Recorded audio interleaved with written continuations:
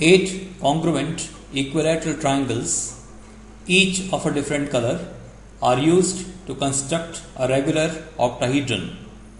How many distinguishable ways are there to construct the octahedron?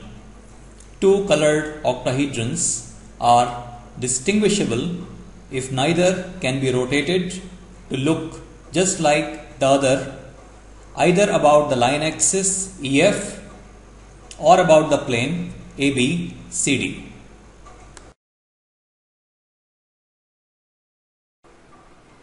Just like we fix a point in case of circular permutations, here we can fix a triangle.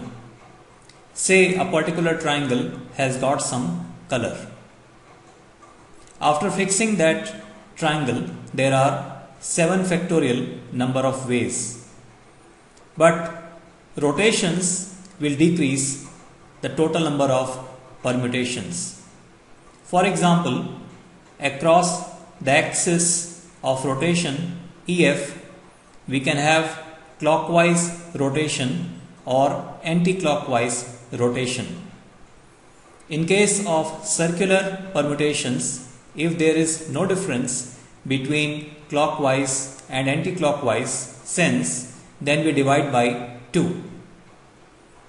But here we have one more axis of rotation and that is lying on the plane ABCD. For example, if we fix the triangle BCF, then it can rotate across the axis BC and it can go down.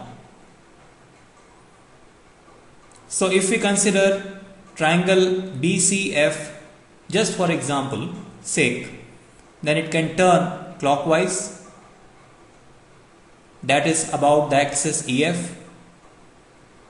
It can turn anti-clockwise that is also about the axis EF and it can turn downwards across the axis BC. So 7 factorial must be divided by 3 to get the total number of permutations and hence third option should be the correct answer.